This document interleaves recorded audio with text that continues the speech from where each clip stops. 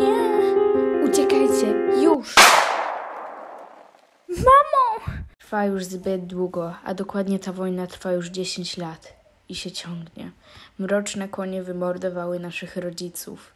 Nasze państwa nigdy się nie zgadzały. My uważaliśmy, że to jakaś kpina, bo my mieliśmy zasady, a oni mogli wyjść na ulicę i zabić jakiegoś normalnego cywila.